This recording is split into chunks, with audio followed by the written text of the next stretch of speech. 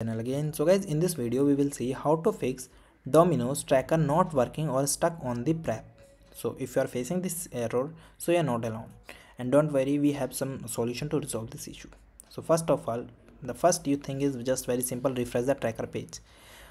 And simplest step is refresh domino's tracker page. Occasionally the tracker might not be updated due to the minor glitches or lag in the connection. So you can refreshing the page can often resolve this issue okay another thing is maybe the problem is related to the server status. So you can wait until it will back and you also check some third-party apps and you can also by clicking here you move to a server pages where you see how the server is work. If it is down so you need to wait when it come back okay?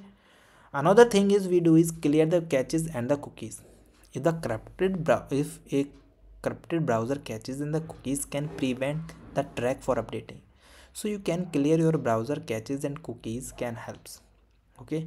So you can open your google chrome go to the setting and privacy where you see the clear browsing data. And after that you can select the time frame. Then you can check the boxes next cookies another size and uh, caches image and file. And click on the clear data button. For microsoft uh, edge user you can follow all these steps.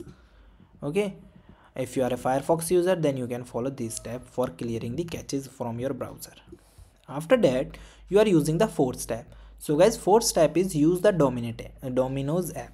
If you are having trouble with the tracker on a web browser so you try to using the domino's domino's app.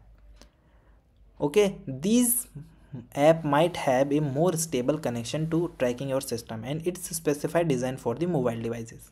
Okay so they will be work better than the websites sometimes not always. So another thing is uh, check your internet connections. The next thing you do need to check your internet connection.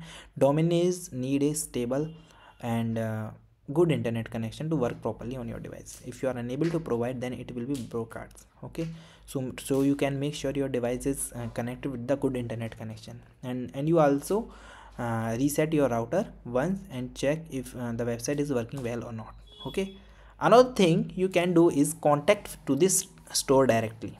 If the tracker has been stuck for unusually long time and it, it might be issues with your specific order then contact to the store directly while using the phone number provided in your order confirmation to inquiry about the status of your order okay?